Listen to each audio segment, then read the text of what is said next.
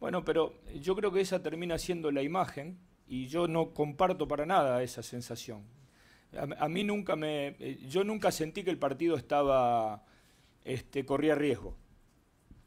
Y yo no creo que la, la actuación de México no haya sido buena. Todo lo contrario, yo creo que México tuvo una buena actuación, pero tuvo deficiencias a la hora de la definición y tuvo distracciones para defender un chanfle, una pelota, un córner y un gol de tiro libre que no es mucho lo que podemos decir.